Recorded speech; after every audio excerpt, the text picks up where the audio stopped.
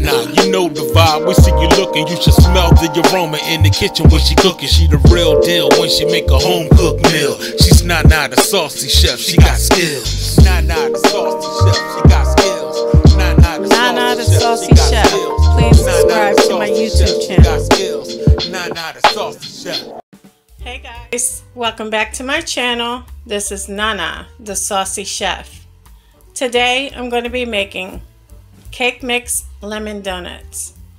The ingredients that we're going to need today are one box of Duncan Hines Lemon Supreme cake mix, one tub of creamy lemon supreme icing, one cup of milk, three tablespoons of butter melted, one egg, one tablespoon of vegetable oil, and one fourth of a teaspoon of lemon extract.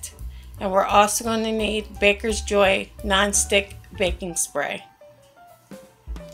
In a large bowl, I'm going to empty my cake mix.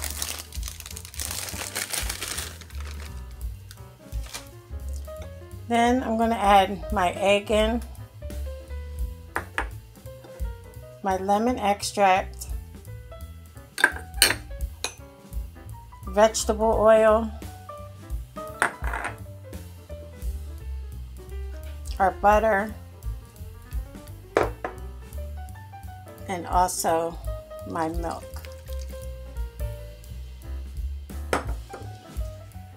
Now we're going to take a hand mixer and we're going to blend all our ingredients until it's nice and smooth.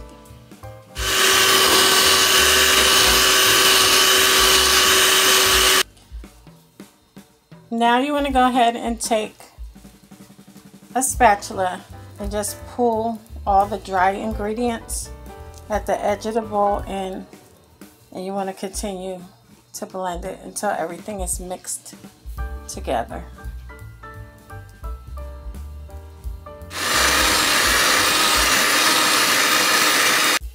Once you're done, you can set your batter to the side. Now you want to get a donut tin and we're going to spray it with our Baker's Joy. Now you can set your oven to 350 degrees. So here I have a cup and inside of the cup I have a piping bag.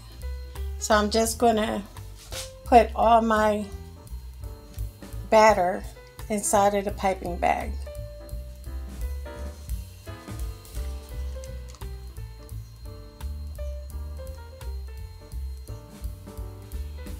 Now we're ready to fill up our donut tin and you only want to fill it halfway.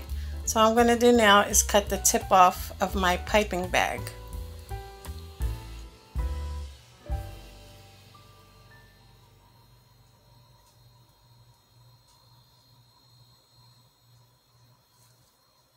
Remember guys, you're only doing it halfway. You don't want to fill it all the way up. Now they're ready to go into our oven 350 degrees for 8 to 10 minutes. Okay guys, after 10 minutes, you want to let your donuts sit and cool off for 10 minutes.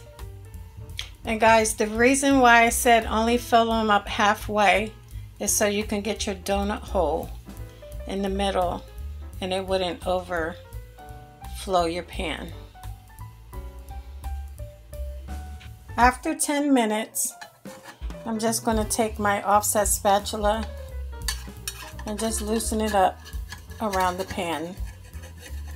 Then we're going to place them onto a wire rack to cool completely. Now you want to let your donuts cool completely. Next, repeat the process with your remaining batter. I wanted to show you guys how the bottoms came out. Look how nice they are. And look, nice and spongy.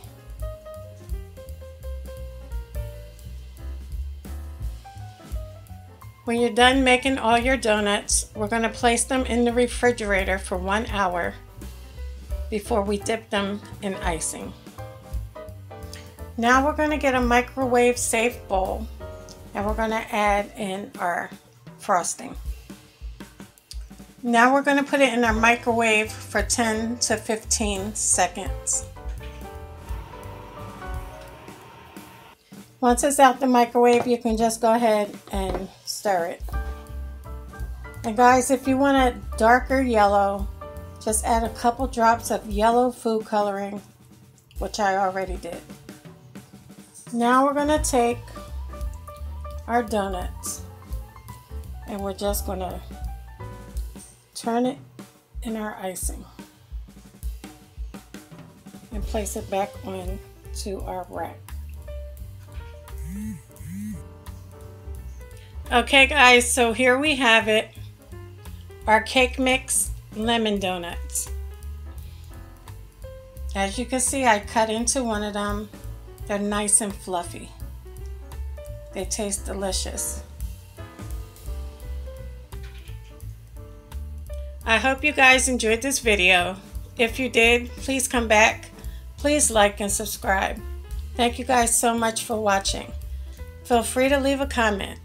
And until next time, this is Nana, the saucy chef. Are y'all hungry yet?